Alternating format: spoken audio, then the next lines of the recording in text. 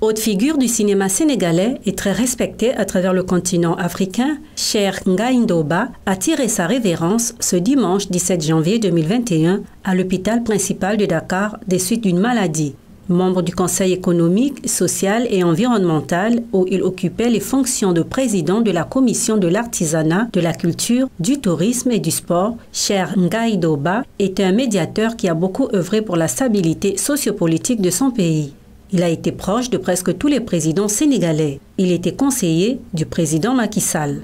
Cher Ngaï Doba est né le 10 juin 1949. Il est diplômé de l'Institut national de l'audiovisuel de France. En 1972, il a intégré l'Office de radio-télévision du Sénégal, l'ancêtre de la RTS, en tant que réalisateur-producteur, et dans le même temps, il a mis en scène deux courts-métrages, Patriote ardent, il a contribué à enrichir le contenu de la télévision nationale naissante à l'époque. Cher Ngaïdoba appartient à la troisième génération de cinéastes sénégalais. Il a été de tous les combats pour le rayonnement du cinéma africain.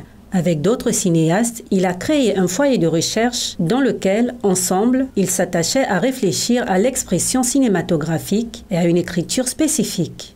Il a réalisé d'autres films et documentaires et a été aussi acteur dans certains films de ses collègues, notamment La petite vendeuse de soleil de Djibril Diop Mombeti, réalisé en 1998. Il a aussi été assistant d'autres metteurs en scène sénégalais comme Mahama Johnson Traoré ou Ababakar Samb.